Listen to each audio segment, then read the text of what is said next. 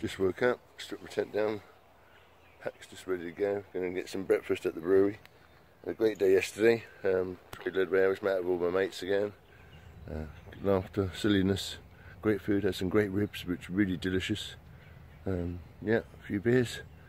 And so uh, we're going to pack up and see what the day brings. Need to get to the town to get my new pack. So we'll try and work out how we're going to do that a bit later. Stand out. This is the stadium when they put on live bands and they do things more at the weekends. Um, it's a guest house.